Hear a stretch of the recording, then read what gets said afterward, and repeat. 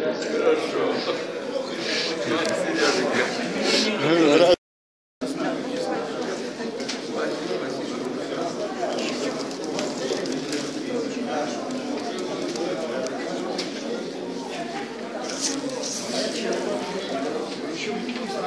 Сереженька.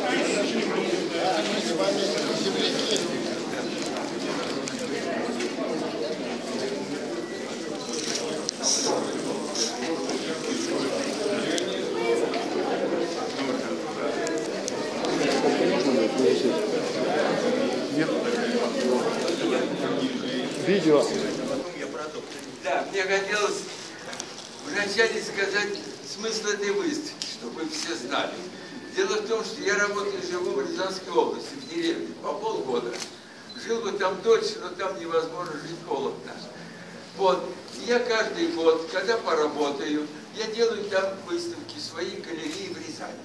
А этот год я решил, так по просьбе художника Крутого, сделать здесь выставку. Тех работ, которые я сделал вот в этом прошлом летом. Только этих работ.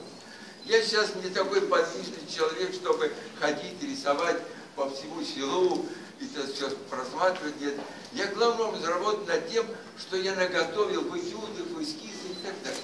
Вот сижу в этой мастерской, работаю, что-то пересматриваю, что-то наброски 5 лет тому назад, 10, 20, и я не, не ощущаю никакого провала, как будто это было вчера. И пишу вот эти этюды, так сказать, полукартины и так далее. Вот чтобы вы знали, что это работы одного лета. И так каждое лето.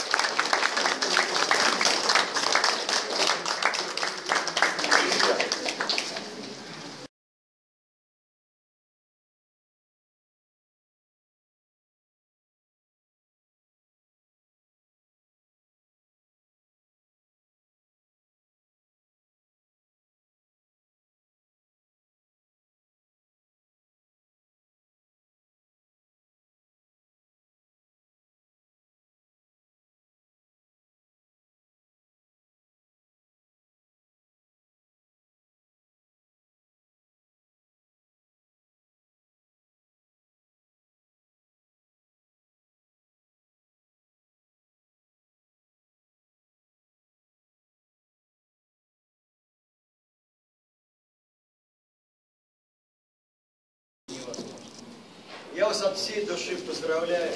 Дай Бог вам здоровья.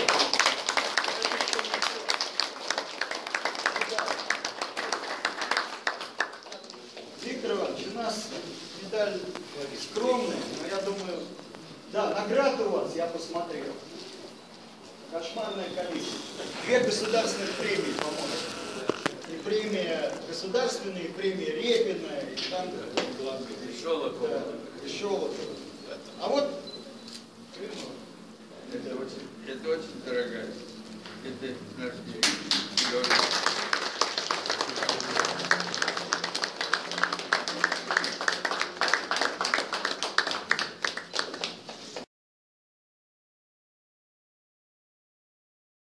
Благодарность всем, кто пришел. Большое, это очень важно, это очень дорого. Каждое лицо для меня, оно сидит в сердце. Это мои те, с кем я жил, с кем я творил, которых я всех люблю.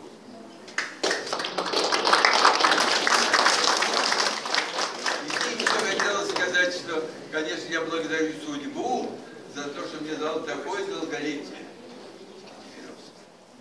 И мне кажется, еще я благодарю судьбу вот за что, не только за долголетие какое. Я иногда анализирую историю искусств и наблюдаю, что как поколение создавало определенное искусство. Оно, каждое искусство рождалось, развивалось, расцветало и, так сказать, как бы заканчивалось естественно, естественно, так и наше искусство тоже заканчивается.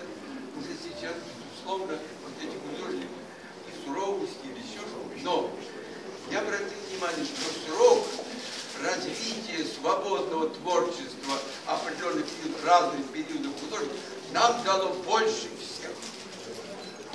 Вам покажется странно. Ведь мы были постмодернизм, сейчас при таком капитализме хорошем. Ну, так сказать, и вот, оказывается, нам дало больше всего отрезок времени. Я благодарю. И еще из этого вывод важный, который я для себя делал. Вот сейчас мы все говорим о свободе, о свободе, о свободе. Ради свободы готовы на все. Ради свободы даже на Украине готовы сделать фашизм и лезть под Германию, под Америку. Ради свободы. Удивительно, что сотворилось.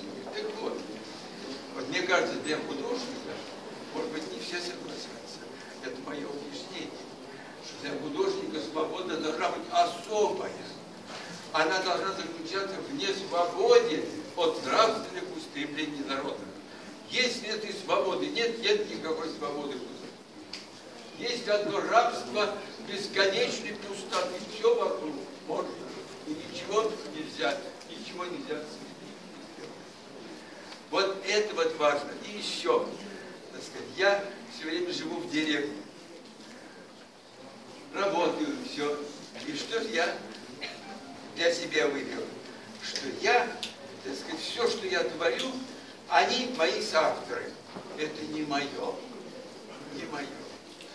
Верьте, понятие красоты, понятие хороших отношений, добра и зла не мое. Это их. Я попытался уловить, что они под этим понимают, как они это чувствуют. Художники, боритесь за несвободу.